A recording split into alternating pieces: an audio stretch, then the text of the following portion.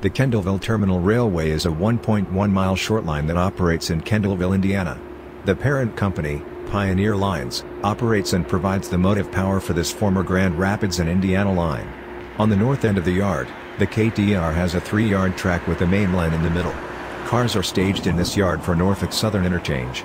But we see them first today at their primary customer on the south end, as they switch the Kraft Heinz plant.